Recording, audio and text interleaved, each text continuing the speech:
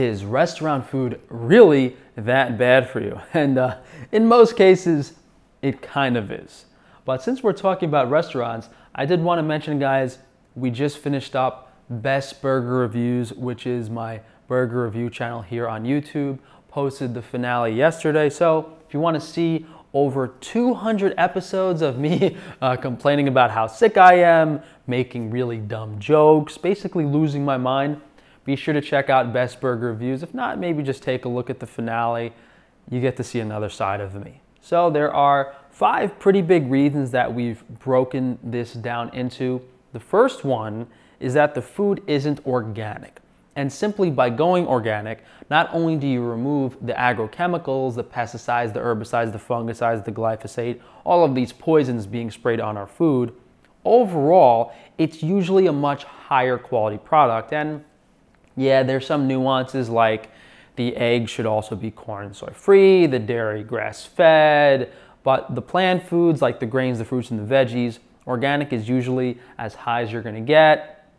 Yeah, there's still omega 6 concerns and things like pork and chicken, but when you go to really high end resorts, certain restaurants, they will be using organic produce, but because of how expensive everything is now, it's kind of hard to find. If you do have the luxury of discovering some type of organic product that's for sale and it's not going to completely break your bank, yeah, you're going to have to pay three, four, five, six dollars just for a loaf of bread. It's worth it. It's, it's something that you know is safe to eat and is good for you. Number two, which is really the reason that people are so sick nowadays with all the degenerative diseases, is how many vegetable seed oils are used in virtually every restaurant dish. Yes, deep frying is the worst culprit, whether it's french fries or battered foods that are soaking up all of this oil, this high omega 6 oxidized crap, which when you consume, it's what your cells are now composed of, and the body doesn't recognize this linoleic acid. That it thinks it's a toxin, so you have all of this massive inflammation throughout your body.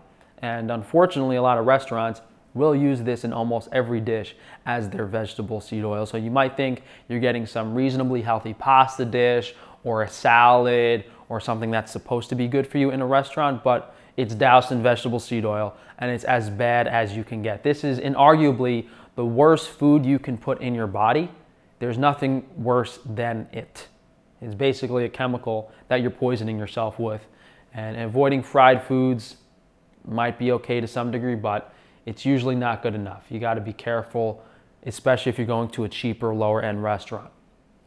Number three is cleaning chemicals, which people don't really think of, but uh, if you ever work in a restaurant, you'll know how much sanitizing stuff is involved in cleaning everything, whether it's the glassware in the bar, degreaser, dish soap, chlorine, every single surface in that restaurant used to make your food, your drink is served in, your dinner plates, your forks and knives is covered in like chemical residue from it being sanitized and, and super safe. So, I mean, maybe there's some like European restaurants out there in different countries where they're not as crazy about this, but in America, for the most part, to my knowledge, that's a, pre- that's a pretty big deal.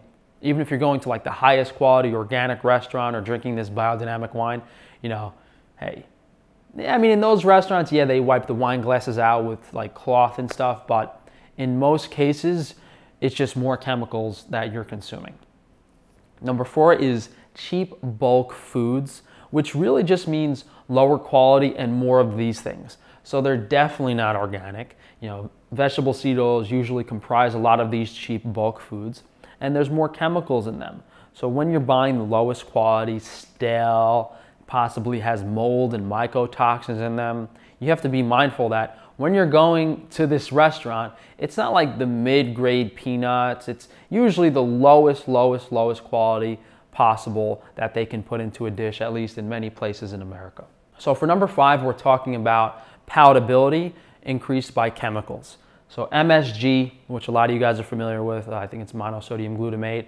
It is a chemical, it does affect the brain chemistry negatively, but really, you know, it's increasing the amount of crap you're eating. So a tiny pinch of MSG on its own might not be the end of the world, but then if you eat three times as much of the food, that's where the issue comes in because you just had three times as much agrochemical filled vegetable seed oil, cleaning chemical crap. And then the salt and sugar that most restaurants use is like the really refined stuff, bleached, full of solvents and really bad stuff. And then they just put a ton and ton and ton of butter in it. So grain fed butter might not be the worst thing, it's not the end of the world, but that combined with all this other stuff, increasing the palatability, you're eating so much of it, it's really, really bad. And uh, there are definitely some things that you can do to alleviate this when you go out to eat in these restaurants. So, one is spend more because generally, when you go to more expensive restaurants, the food is much higher quality. That's not always 100% certain, but you know, you do want to go to a steakhouse. That's another good thing, even though steakhouses are usually expensive. Sticking to beef as opposed to any other animal proteins is definitely the lesser of the evils. There are still problems with conventional grain-fed beef, but it's probably the least worst animal protein. You definitely want to avoid fats in the context of you know low quality fat being the worst macronutrient to consume. You know, if you're eating low quality protein and low quality carbohydrates, yes, those are pretty bad too, but not nearly as horrible as vegetable seed oils and some of these fatty dressings that are just bombarded with these low quality oxidized fats. You also want to eat before, so you know you're not like stuffing yourself and overeating. And that applies to two things. One, saving money at the expense of places. And two, you know, not stuffing yourself at a fast food restaurant. So definitely eat a high quality meal before just to avoid the damage. And it sounds kind of weird, but filling up on bread might not be a bad idea because bread compared to all the other food in the restaurant is in most cases the least inflammatory thing. Yes, you know, GMO wheat is pretty bad for you, but not as bad as the other stuff on the restaurant menu. And a few things I was doing uh, when going to all these burger restaurants as like a protocol to uh, reduce the damage was taking mastic gum with it uh, we have it available on organsupplements.com. It's like a, a tree resin. You grind it up into a powder and it keeps food moving through your digestive system. So all of that like burger, fries, and crap isn't just sitting there getting absorbed. Uh, same with charcoal. All that stuff gets absorbed into the charcoal, activated charcoal, to kind of reduce the toxin absorption. And then you can also use probiotics like water kefir to help digest and break down some of that restaurant food to remove the stress of your body. And then being hydrated, very, very important. A lot of restaurants will have a bottled water you can buy, something like Pellegrino. So you really want to just stay super, super hydrated so that you know things are moving as smoothly as possible through your digestive system. And then you want to eat good quality food as soon as possible after the restaurant meal, whether that's later when you get home at night or possibly the next day, just you know, back on the high quality organic diet, maybe just like a big plate of organic brown rice, some steak, and just push all that crappy food out. So hopefully this gives you guys an idea of what you need to avoid in restaurants. And look, there's a lot of good places out there. There's a lot of good dishes that you can have, but it gets very, very, very subjective and it's difficult unless you have a good understanding of health and nutrition to know what you should eat and what you shouldn't eat. Because even something that seems healthy, like sushi, could be full of pollutants and toxins from the ocean. So you got to be really, really careful. So you guys can go to frank-tufano.com if you would like to check out all of my businesses. We have the high quality grass-fed meats on Frankie's Free Range Meat Guys, water kefir, and all other sorts of interesting products on Frankie's Free Range Foods. We have the mastic gum and some other stuff that will help you deal with the detoxing on organ supplements. And of course, we have Wi-Fi shielding. I'm always wearing the protective clothing, as well as Frankie's Naturals.